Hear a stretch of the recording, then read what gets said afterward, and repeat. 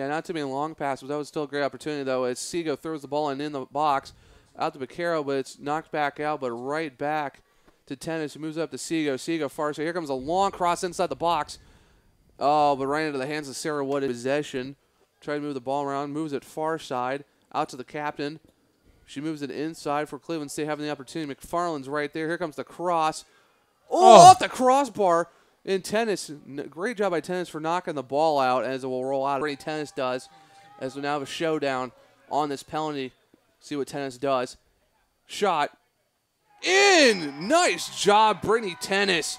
Third back out to Martin. Martin in possession for the Penguins. Moves out to the middle of the tennis, who's got the early notcher for the Penguins. Long shot. Oh, nice shot. Wow. Man, that was a good, at least, what, He's on goal, so keep that in mind. Uh, let's look for that here in the second half. Yeah, something to watch out for too. It's a, as, as we got a cross coming in for Cleveland State off ahead. Podolski with a great diving save. Oh, fantastic save by Podolski. Some inspirations they're down one nothing. Back from the first half, off ahead of a Cleveland State player, but right into the hands of Podolski. She was ready for that one.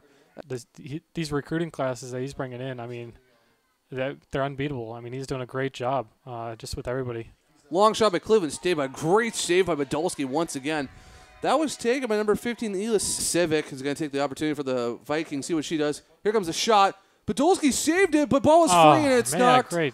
But it's knocked back right, right back in. Podolski did get the save, but it was easily picked back up.